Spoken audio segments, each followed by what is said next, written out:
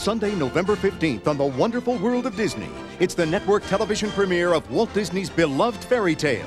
Everything's so wonderful. When a princess is cast under an evil spell, it must be November on ABC with Sleeping Beauty. Plus, don't miss the beginning of the show or you'll miss the bugs. Squish them. It's a sneak peek of Disney and Pixar's newest blockbuster, A Bug's Life. It's a wonderful premiere event, Sleeping Beauty, and A Bug's Life preview. ABC Sunday, November 15th.